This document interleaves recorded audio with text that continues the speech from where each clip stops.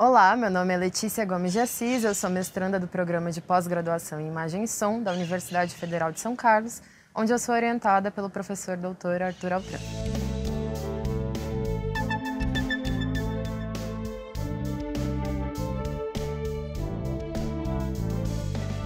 Meu trabalho faz parte da linha de pesquisa em História e Políticas do Audiovisual e foi financiado com bolsa da FAPESP. De uma forma bem ampla, eu trabalho com os processos pioneiros de implantação de escolas de cinema na América Latina. E mais especificamente, eu tenho investigado as circulações transnacionais entre Argentina e Brasil a partir das relações com o Instituto de Cinematografia, uma escola de cinema argentina vinculada à Universidade Nacional da Litoral é localizada, cuja sede é localizada na cidade de Santa Fé, capital da província homônima. Meu trabalho se baseia em revisões bibliográficas e também na investigação de fontes primárias, como correspondências, material de imprensa e documentos oficiais. Eles foram levantados em instituições de pesquisa, tanto no Brasil quanto na Argentina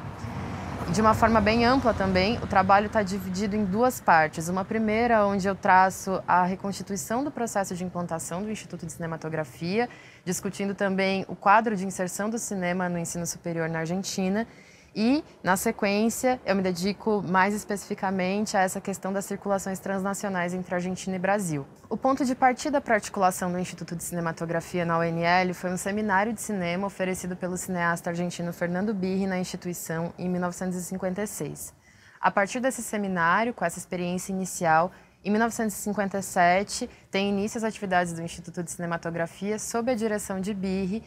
e nesses anos iniciais, a produção é, intelectual e cinematográfica do Instituto era bastante pautada, principalmente pautada na realização de documentários. Diante de um contexto de instabilidade política vivenciado na Argentina durante os anos iniciais da década de 60, Fernando Birri deixa a direção do Instituto de Cinematografia em 1962 e provavelmente no ano seguinte parte para o Brasil, acompanhado da sua companheira Carmen Papio, e de um grupo formado por Edgardo Paleiro, Manuel Horácio Jimenez e Dolly Pucci, também vinculados ao Instituto de Cinematografia. Para além das relações é, de contexto político da Argentina naquele momento,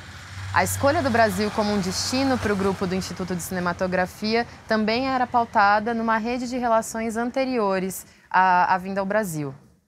Entre elas, destaca-se a relação com Rudá de Andrade, que havia se formado em 1952 com Birri, numa turma de direção cinematográfica no Centro Experimentale de Cinematografia, que era uma escola de cinema italiana. E aqui cabe abrir um parênteses, porque diversos cineastas latino-americanos desse momento, entre 1950 e 1960, se formavam também em outras escolas no centro e em outras escolas de cinema na Europa. O Rudá de Andrade, que na época era conservador é, adjunto da Cinemateca Brasileira, estaria então no centro das relações entre o grupo do Instituto de Cinematografia e o Brasil e foi responsável por receber o grupo em São Paulo para a realização de atividades através da Cinemateca Brasileira. Durante a passagem do grupo do Instituto de Cinematografia pelo Brasil, eles realizaram várias atividades de difusão e, entre elas, exibições dos filmes dirigidos pelo Birri, Los Inundados e Tiridier.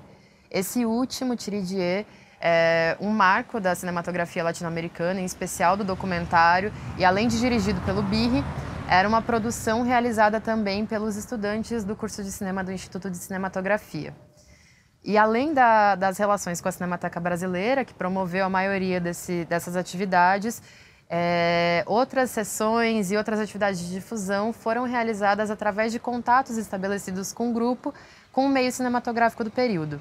No Rio de Janeiro, por exemplo, esse, um principal contato era com o crítico historiador Alex Vianney e em Recife também, que o grupo passa por Recife, pela, pelo material que eu pude levantar, é, provavelmente essa interlocução se deu através de aproximações com o Movimento de Cultura Popular do Recife, o MCP, que é um movimento principalmente atrelado à figura do Paulo Freire e que tinha como objetivo a mobilização de ações de educação de base e de educação é, e de alfabetização de adultos. De um modo geral, o estudo desse tipo de circulação transnacional contribui para pensar as práticas e o meio cinematográfico para além das fronteiras nacionais. A reconstituição histórica em desenvolvimento ao longo da pesquisa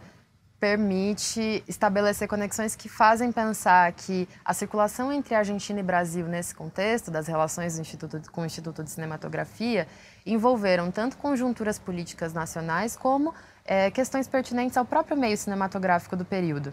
Entre elas, a aproximação com instituições vinculadas à cultura cinematográfica e com pessoas também vinculadas a esse meio, como Paulo Emílio Salles Gomes e outros, que além disso também eram vinculados ao Partido Comunista Brasileiro,